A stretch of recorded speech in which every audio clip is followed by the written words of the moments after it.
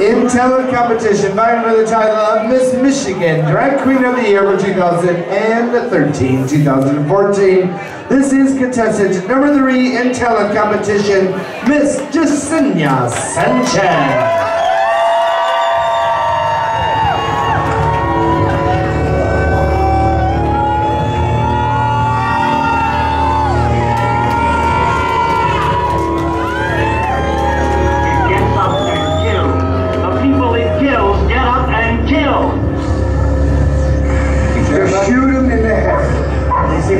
Shoot it in the head.